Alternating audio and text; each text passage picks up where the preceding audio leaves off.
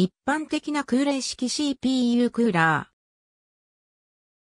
銀色の部分はヒートシンクで CPU はその下にある。CPU の冷却装置の記事ではもっぱら CPU クーラーと呼ばれているパソコンの CPU の冷却及びその装置について解説する。CPU に限らず集積回路を使用する電子機器一般に積極的な放熱を必要とするほどに発熱するのにもかかわらず冷却を怠った場合、以下のような問題がある。十分な冷却を行わない場合、以上のような理由から、即時的な機能不全や著しい寿命の短縮をもたらす。一見正常に機能したとしても、冷却不足であった場合は、設計上の寿命よりはるかに早く故障する可能性がある。一般にマイクロプロセッサの場合、本来は B2B 等での利用のための形態である、バルク品と呼ばれる商品には CPU クーラーは付属しない。一方、一般消費者向けのリテールパッケージには必要十分な程度のスペックの CPU クーラーが同梱となっていることがほとんどであり、通称リテールクーラー、純正クーラーと呼ばれている。自作やオーダー PC ではより高性能なあるいは静音化を図ったクーラーに交換を望む需要も高く、サードパーティ製品が数多く開発、市販されている。互換性のあるパーツを集めて作るショップ系、BTO や自作機では、本来は通風させる方向に沿っているべきである。マザーボード上の子基板がその向きに沿っていないことがある。一方で、カスタムの幅が狭い前提で設計されるメーカー製 PC や PC サーバ等では、ホームファクタにとらわれず、全体最適な設計が見られることも多い。CPU 以外の GPU などのプロセッサ、あるいはもっと他の集積回路で発熱の著しいものにおける冷却、あるいはパソコン以前から存在して冷却が行われていたメインフレームやスーパーコンピュータ、あるいはワークステーションやサーバにおける冷却も本質的には同様である。ビデオカードの主に GPU を冷却するものは GPU クーラー、または VGA クーラーと呼ぶ。パソコン以外の機器では、家庭用ゲーム機の場合の一例として、プレイステーションシリーズの場合、初代 PS では自然通風による冷却のみであったが、PS2 ではファン等を含む冷却システムが組み込まれている。他にも、薄型テレビなど、黒物家電にはメイン LSI を冷やすため何かしらの冷却機構を採用したものが多い。パソコンで使用されるマイクロプロセッサの場合、ごく小期にはプモス、続いてンモス論理方式であったため、1980年代にはその発熱が問題になるほどになった。しかし、CMOS 論理方式への移行により、一旦は緩和された。インテルのメインストリーム製品の場合、8086で問題になった後、8286で緩和された。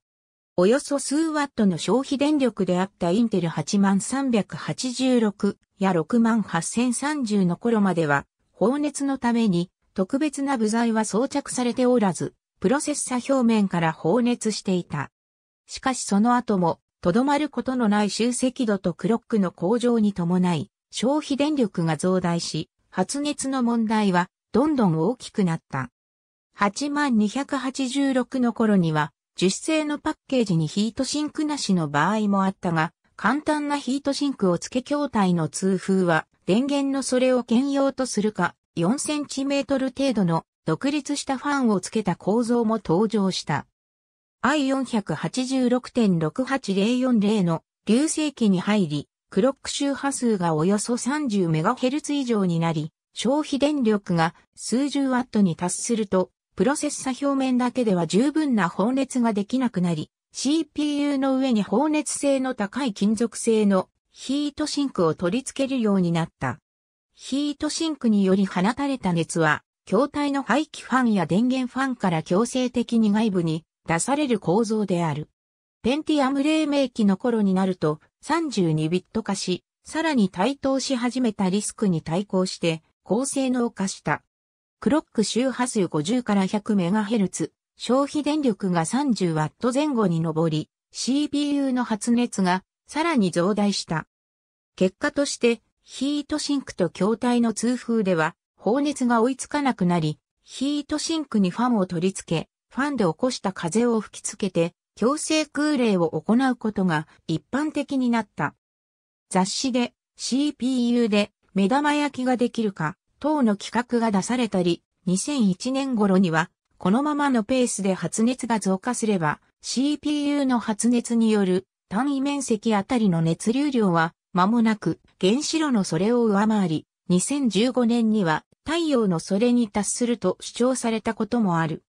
ハイエンドのプロセッサについては、クロック周波数の向上の伸びこそ近年は鈍化の傾向があるとはいえ、マルチコア化による延べ消費電力ないしは、TDP は2017年まで単調増加であり、それに伴い CPU クーラーも強化されてきた。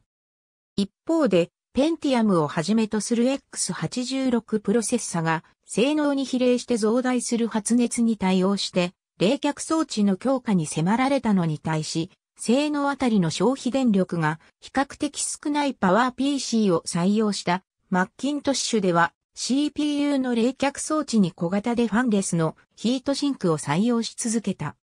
特に消費電力の低いパワー PC G3 を搭載した iMac PowerPC G4 を搭載したパワー Mac G4 キューブは、筐体の放熱ファンも廃止して、エアフローを意識したファンレス設計とし、静音性に優れていた。構成部品のヒートシンクから放たれた熱は空気の自然対流で外部に逃がされる。また、2000年代後半になると X86 プロセッサでもアトムゲオで C7 など発熱量の少ない省電力 CPU も登場し、ファンレスの PC、AT5 換気が現れた。また、発熱量がさほど多くない CPU でも静音化のため、CPU ファンを排除する場合もあるが、それなりの大きさのヒートシンクが必要になる。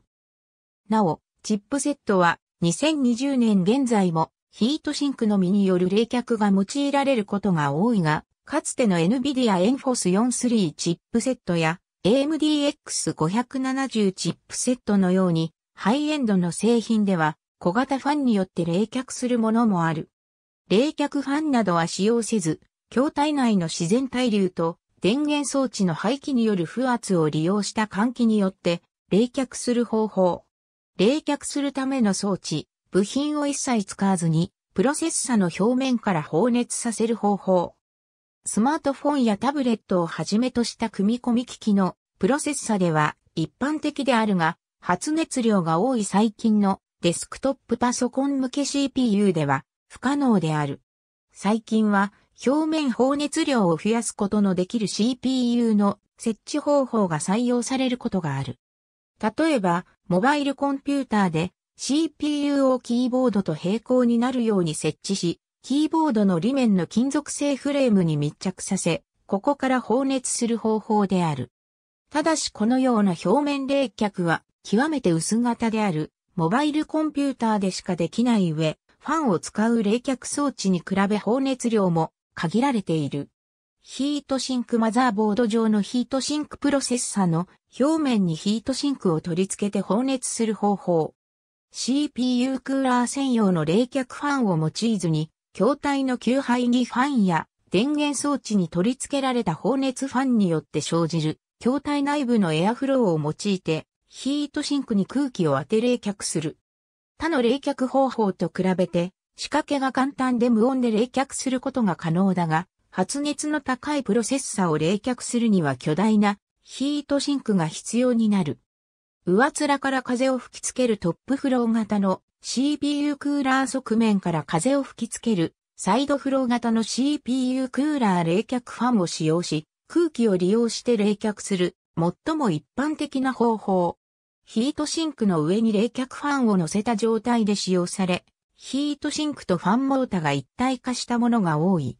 店頭で販売されている CPU 製品にはサーマルソリューションと称して十分な性能の強制空冷式冷却装置が付属している。特に記述がない限り市販されているパーソナルコンピュータにおいて CPU の冷却にはこの方式が用いられる。その特性上、どうしても高周波の風切り音が発生してしまう。これをできるだけ抑えようとメーカーは、静音性も重要視したファン開発を行っているため、標準付属品以外にも様々な製品が販売されており、その中には流体力学や航空工学の成果を応用したと歌うものまで存在している。また一般に CPU の冷却装置はケース内部にあるため、空冷を続けるためにはケース外部との継続的な換気が必要になる。ファンなどによる換気のほか、効率を上げるために冷却装置のすぐそばに換気口を設けたり、冷却装置が外気に直接面するようにレイアウトする例もある。プロセッサの表面にヒートシンクを取り付けて放熱する方法。詳細はヒートシンクの利用を参照のこと。PC ケース上部に簡易水冷のラジエーターを取り付けた図空気よりも熱容量が大きい水を冷却に用いる方法。CPU に水を循環させるヘッドを接触させて熱を水で持ち去り外部のラジエータで放散させる。ラジエータには空冷ファンをつけ冷却能力を高めることが多い。CPU 以外に GPU の冷却のためのキットも市販されている。大型汎用機では普及している方法であるが、一般的なパソコンに用いるには、構成部品が多く大掛かりになりすぎ、また定期的なメンテナンスも必要であり、水漏れなどが発生すれば高価なパーツを破壊するリスクもある。一般に空冷式より高価かつ複雑になることなどから、簡便に用いることのできるものではなかった。技術の熟成により信頼性が上がり、値段も空冷クーラーと遜色ない製品が流通するようになり、冷却性能の高さに加え、ファンによる騒音を嫌って静粛性を求めるユーザーが水冷式を用いることが多い。パソコン分野での水冷は本格水冷と簡易水冷に大別される。ただし、水冷型のクーラーは強制空冷式の CPU クーラーでは存在したファンによる風の流れが発生しないため、その設置の状況によっては、マザーボード上のチップセットやメインメモリーなどの他のパーツ機材の冷却ができなくなる可能性があるため、導入する際には他の冷却機構との兼ね合いを考慮する必要がある。ノートパソコンにおいても水冷を採用した製品が存在する。水冷と異なり CPU やマザーボードその他のパーツを含めて直接冷却液内に浸すものと防水ケースに収納して浸すものの2種が存在する。熱源に対して直接冷却液を接して排熱できるので、冷却性能は非常に高い。冷却液には、フッ素系不活性液体やオイルなどの非電動性の液体が用いられ、直接水没させる場合はパーツに関しても、冷却液が浸透しないようにコーティングしたものなどが使われる。主にデータセンターのサーバーやスーパーコンピューターなどの高い冷却性能を要求される用途などで使われる。一般ではまず利用されることはないが、わずかに市販されている専用 PC やキットは非常に高額である。自作する場合は、魚類用の水槽に生成水やオイルを満たしてパーツ一式を浸すものが多く、マニアが公開しているものや PC ショップの展示品等で見ることができる。市販品で水没を想定したパーツはほとんど存在しないので、長期的な運用は難しく、コストやメンテナンス性も良くはないので、水冷以上にハードルが高い。大規模な冷却施設と土地が不要になることから、自然環境下での水中データセンターを実現するための検証実験が官民で行われている。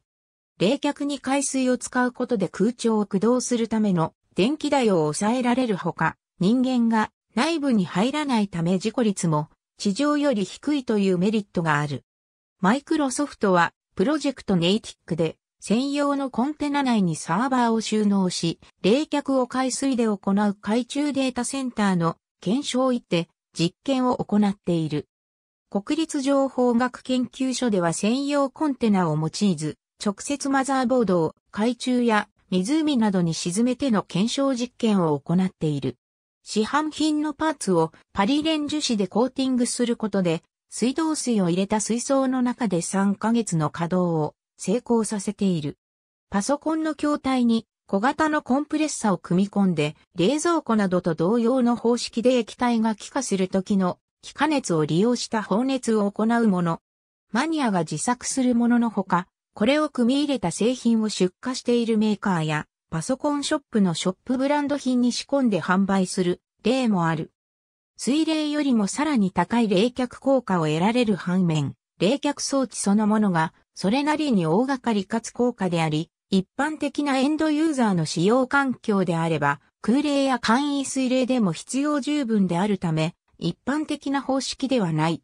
ガス冷却に用いられるガスは数種類あり、主に炭酸ガスが用いられる。液体窒素冷却 CPU の直上に液体窒素やドライアイスを入れる同性のマス等を用いて放熱する方法。極低温を維持することでオーバークロック時の冷却効率が表されるが、結露対策に気を使う必要がある。さらに、管材自体も消耗品であり、運用コストがかさむので、ベンチマークの試合における極端なオーバークロック時の利用が一般的であり、個人で常用することは少ない。極低温であり極端なオーバークロックを行えるところから極冷と称される。冷却効率を上げるため、補助的な役割を担うもの。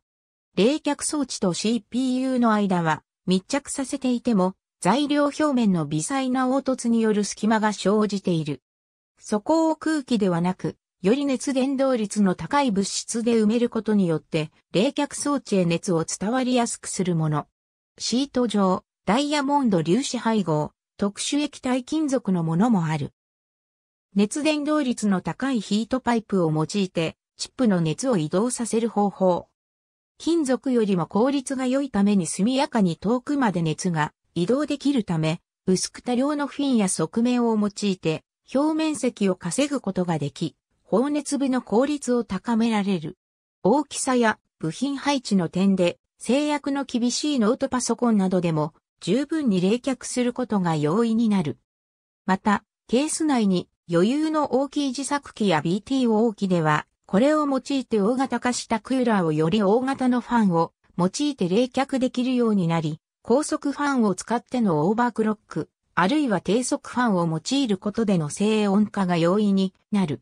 ペルチェモトコペルチェ効果を利用した薄型の冷却素子。CPU に接する面から吸収した熱を反対側の面に移動させる。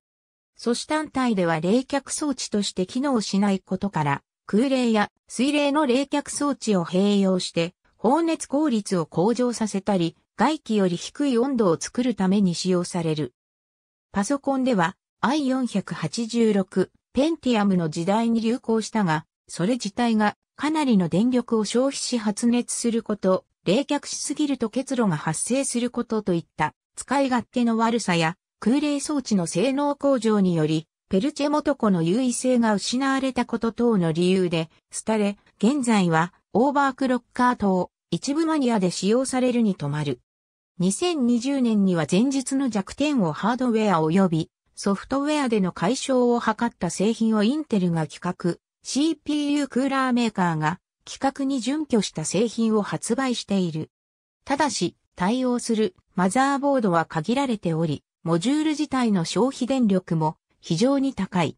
CPU のヒートスプレッダーを取り外して、放熱部材をより高性能なものにより変えることを空割りという。発熱量が高いハイエンド CPU で行われることが多い。手法としては CPU 台とスプレッダに塗布されたグリースを高品質なものに塗り替えたり、ヒートスプレッダをより放熱性の高いものに交換するなど、ただし空割りは難易度が高く、メーカーの保証対象外となる。インテルの IB ブリッジ世代からマニアの間で流行し始めた。原因は CPU の放熱部材がソルダリングから熱伝導グリスに変更されたが、グリスの品質が良くなかったため熱移動がうまく行われず、個体によってはかなりの高温を出すこともあったため、空割り後に市販の高品質グリスを塗布したことで改善された事例が確認されている。サンディブリッジ以降は改善されているが、以降も前述の理由で純正グリスの忌避、オークル体制の向上などの理由でカラーりが行われている。2016年現在流通しているマザーボードで採用される方式には、主に以下のプッシュピン方式、リテンション方式、バックプレート方式の3つがある。インテル製 CPU にてよく使われている方式で、CPU クーラーのフレームをマザーボードにあらかじめ開けられている穴に樹脂製のリベットを指で押し込んで固定する方式。取り付け時はピンの向きや状態を4箇所同時に把握しなければならず、CPU クーラーが大型になるほど指をかけにくくなる。しかし固定されれば、自然とメーカー指定の圧力となるため、CPU やマザーボードを破損させるリスクが少ない。インテルリテールクーラー、一部の AMD リテールクーラー、サードパーティ製、CPU クーラーで採用されている。AMD 製 CPU にてよく使われている方式で、マザーボードに取り付けられているブラケットに CPU クーラーのフックを引っ掛け、レバーで締め上げて固定する方式。作業は非常に単純だがレバーが硬く、力がいる。プッシュピン方式と同様に圧力はメーカー指定のものとなるため破損リスクは少ない。AMD リテールクーラー、サードパーティ製、CPU クーラーで採用されている。マザーボードの裏側に金属もしくは樹脂製のバックプレートと呼ばれるネジ穴が設けられたプレートを取り付け、反対側から CPU クーラーのフレームをネジにて固定する方式。前述のプッシュピン方式の穴やリテンション方式のブラケット取り外し跡にバックプレートを設置することで、この取り付け方式が使えるほか、インテルの LGA2011 マザーボードの場合は、あらかじめマザーボードにネジ穴が付けられているため、そのまま取り付けることが可能である。ドライバーやスパナで取り付けるためた方式に比べて力がいらず、重量がある CPU クーラーも支えることができる。